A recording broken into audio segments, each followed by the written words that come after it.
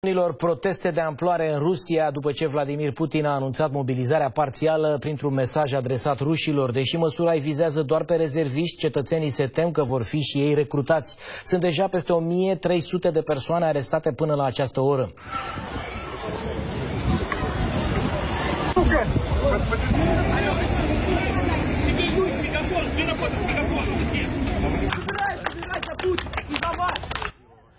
Procuratura rusă a avertizat că orice acțiune de protest neautorizată va fi descurajată. La Moscova, forțele de ordine au intervenit fără menajamente și au băgat direct în dubă pe rușii care protestau. La fel s-a întâmplat și la Sankt Petersburg, orașul natal al președintelui Putin, unde femei și bărbați au fost reținuți de polițiști înarmați.